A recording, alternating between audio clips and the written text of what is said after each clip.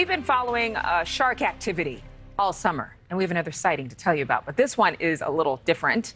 Uh, not somebody getting bit. A Long Island, New York resident snapping a photo of a seven foot long great white shark that washed ashore. Uh, the shark is not alive anymore.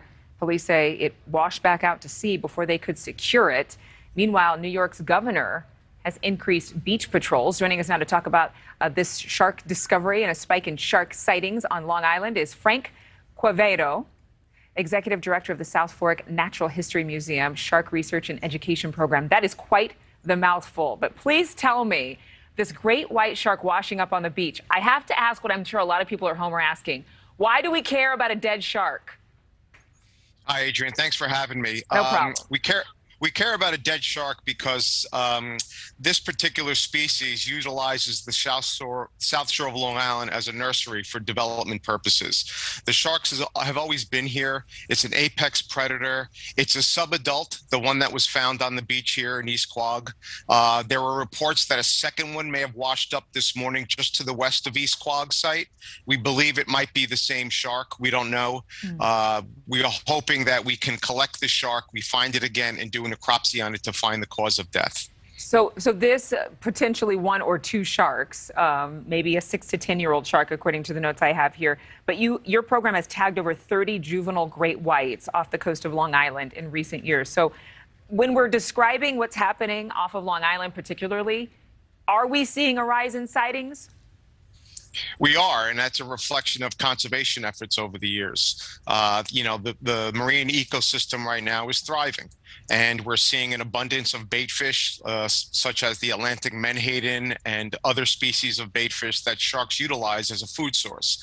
Warming temperatures also bring in uh, southern species of sharks into uh, our waters. It's a northerly migration. It's a natural migration of, of animals moving north, and with the influx of abundance of, of bait fish and food source for these sharks, we're going to see a lot more of them.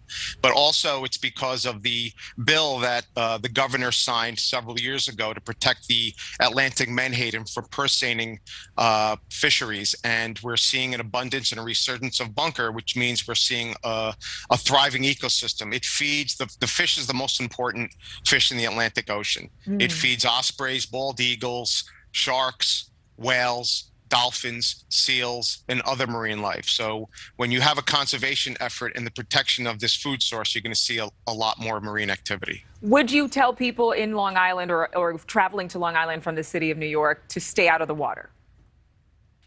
I would not. I would say just be more cautious in driving to the beach. You're probably more likely to get into a car accident heading to the beach, uh, other than uh, interacting with a shark at the beach when you get there. So just use caution when you're driving, and you're more than fine uh, approaching the beach, getting in the water. If the lifeguards close the beach, that's a good thing. It's a it's a security thing that the beach management team is is is allowing the people to stay safe and uh, to let the animals do their thing in the water and then get back in the ocean when when things are more safe safe. All right. So just use caution in life.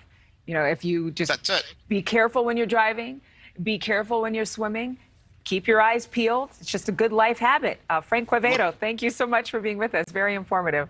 Thank you for watching. Go to newsnationnow.com to find News Nation on your television provider. And don't forget to click the red subscribe button below to get more of News Nation's fact driven, unbiased coverage.